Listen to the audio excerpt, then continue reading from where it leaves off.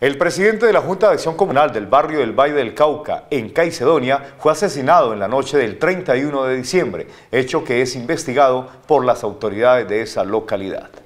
La fiesta de fin de año para una familia en el municipio de Caicedonia se vio empañada por el accionar de violentos.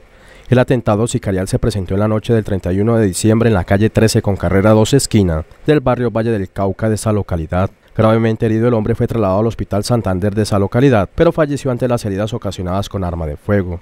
La víctima fue identificada como Jesús Perafán, un reconocido líder comunitario del barrio donde fue atacado a tiros en Caicedonia. Las autoridades de ese municipio lamentaron este hecho.